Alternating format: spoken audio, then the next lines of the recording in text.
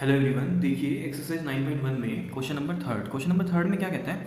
कहता है a contractor plan to install two slides for the children to play in a park for the children below the age of five years she prefer to have a slide whose top is at a height of 1.5 metre and is inclined at an angle of 30 degree to the ground देखो, इतना question समझते हैं। देखो, एक contractor है उसे install करने हैं two slides for the children slides समझते हो?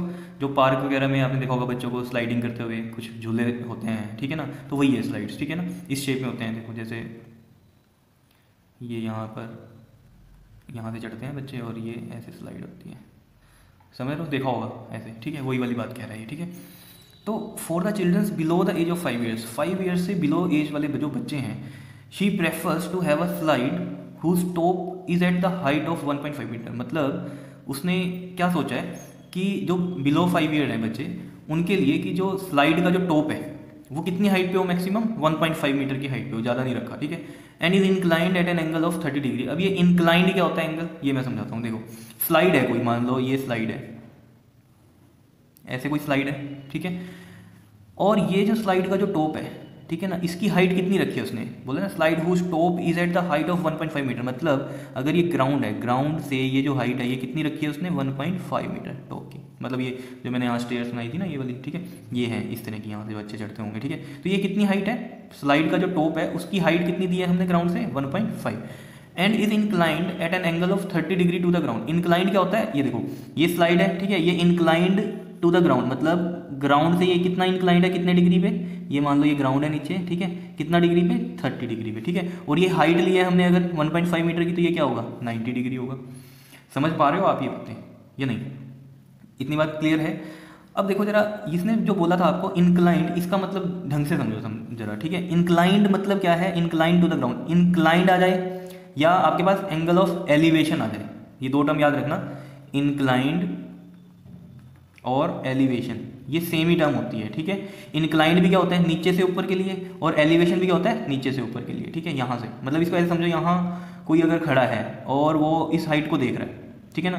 तो उसका एंगल ऑफ़ एलिवेशन या एंगल ऑफ़ इंक्लाइंड या इंक्लिनेशन ये कितना है? थर्टी डिग्री उसका देखने का।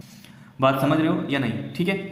अब तो सिंपल है। अब देखो, अगला भी पढ़ते हैं इसमें पार्ट इतनी तो समझ में आ गई आपकी बात। ये कहता है where where age for the elder childrens elder मतलब थोड़े बड़े बच्चे हैं she wants to have a steep slide steep मतलब क्या है? मतलब इससे ज़्यादा हाइट देनी है स्लाइड की, ठीक है? स्टीप स्लाइड करनी है, ठीक है? Steep slide at a height of three metre अब कितनी हाइट रख दें इसकी? थ्री मीटर हाइट पे रख दें. And inclined at an angle of कितना? सिक्सटी डिग्री इंक्लाइंड बोल रहा है again inclined at an angle of sixty degree to the ground और इंक्लिनेशन एंगल कितना है? सिक्सटी डिग्री तो कह रहे है what should be the length of the slide in each case मतलब ये मान लो इसका. फ़र्स्ट केस जो किन के लिए था? फॉर ये देखो यहाँ पर था ना आपके पास for the children below the age of five years ठीक है? तो यहाँ लिखेंगे for the children below five year ठीक है? ये केस ये वाला चल रहा है। और इधर मैं लगा देता हूँ एल्डर चिल्ड्रंस ठीक है? क्लियर इतनी बात। ये मैं दो केस अलग अलग आपको यहाँ करके दिखा देता हूँ, ठीक है? देखो, अब जो एल्डर वाले केस में थी वो स्लाइड थी, ठीक है? मान लो ये स्लाइड है, ठीक है? और इसमें जो हाइट दी है, वो कितनी दी है? बताओ थ्री मीटर की। कितनी हाइट दी है? ये देखो, ये स्लाइड है स्लाइड के टॉप को कितना हाइट दिया? थ्री मीटर का। और एंगल कितना है ये? इंक्लिनेशन या इंक्लाइंड कितने पे है ग्राउंड से? सिक्सटी डिग्री कितना है? सिक्सटी डिग्री समझ रहे हो बात को या नहीं? बताओ। इतनी बात अगर क्लियर है तो फिर कुछ भी नहीं है।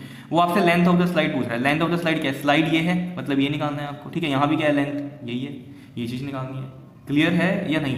बताओ। ठीक है, अब देखो इनको मैं नाम दे दूँ कुछ। इसको ए बी सी दे देता हूँ। इसको पी क्यू आर दे देता हूँ, ठीक है? अब देखो, अब तो कुछ भी नहीं है आपके पास क्वेश्चन के अंदर। अगर देखो, मैं बार बार यही बात आपको समझा रहा हूँ कि अगर क्वेश्चन समझ के आप ये डायग्राम बना लेते हो, फिर तो क्वेश्चन कुछ भी नहीं रहा, ठीक है ना? इतनी बात तो।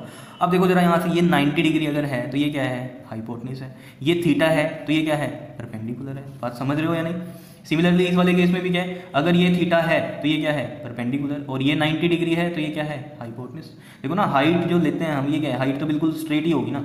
90 डिग्री भी होगी तो इस वजह से। क्लियर है? क्वेश्चन समझ में आया आपको?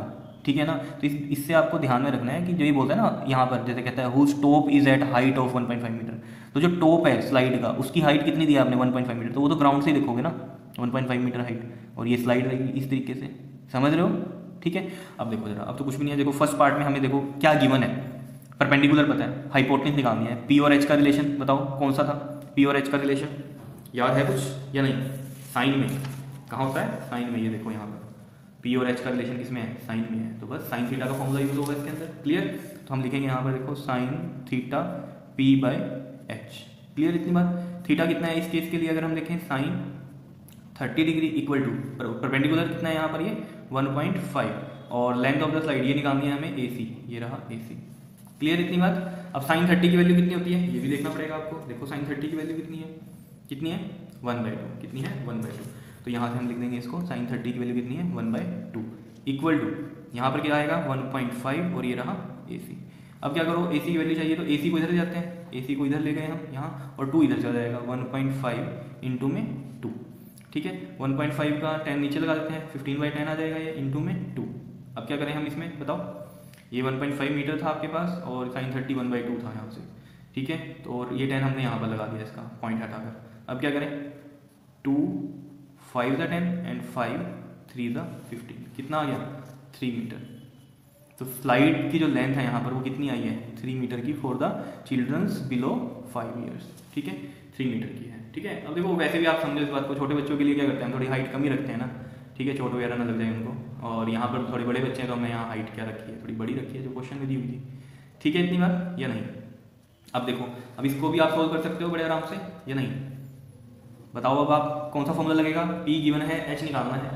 पी बाई एच बिल्कुल साइन थीटा का ही फॉर्मूला लगेगा तो साइन थीटा इजगल टू क्या है? पी बाई एच देखो बार बार बोल रहा हूँ कंफ्यूज ना होना। एच बाई पी भी कर सकते हो, फिर वो कोसिकेंट के फॉर्मूले लगेंगे। फिर कोसिकेंट में आपको रेशो भी कोसिकेंट वाली याद होनी चाहिए। समझ रहे हो? तो हम पहले तीन का लेके चल रहे हैं इसमें। इसलिए इस एक्सरसाइज में आप मोस्टली क्या यूज़ करना? साइन कोस और टेन ठीक है? अब देखो, ये पी बाई एच और ये साइन कितना है यहाँ पर? साइन सिक्सटी परपेंडिकुलर कितना है? थ्री मीटर का, और ये जो हाइपोटनिस निकालनी है, ये कौन सी है हमारे पास? पी आर अब देखो यहाँ से साइन सिक्सटी की वैल्यू देख लो, कितनी होती है?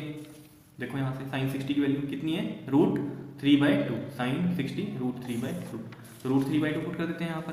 क्या आएगा? Root three by two equal to three upon में पी आर ठीक है? समझ रहे हो ना? अब पी आर को इधर ले जाते हैं। पी आर इधर चला गया। ठीक है? ये टू इधर थ्री इंटू में टू और रूट थ्री नीचे आ जाएगा। रूट थ्री नीचे आ गया। थ्री टू कितना होता है? सिक्स। और ये कितना आ गया हमारे पास? सिक्स रूट में थ्री। फिर अगेन देखो, सिक्स रूट थ्री आ रहा है तो इसको भी सोल्व करना पड़ेगा हमें कैसे? मल्टीप्लाई करेंगे इसको। सिक्स रूट थ्री है ना? Multiply and divide root three से ही। क्यों? रेशनलाइज करते हैं, रूट थ्री में वैल्यूज़ नहीं रखते हम नीचे। क्लियर तो ये कितना आ जाएगा? सिक्स रूट थ्री अपॉन में। Root three into root three कितना होता है? थ्री। समझ रहे हो? और किसमें आ जाएगा ये? मीटर में। सिक्स रूट थ्री अपॉन में थ्री, और यहाँ पर भी क्या हो जाएगा? डिवाइड करेंगे।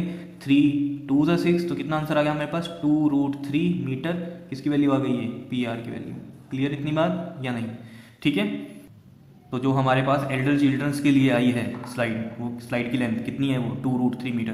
Clear इतनी बात? और जो बिलो फाइव ईयर्स वाले बच्चे थे, उनके लिए कितनी आई है? लेंथ थ्री मीटर क्लियर इतनी बात? ठीक है? Okay thank you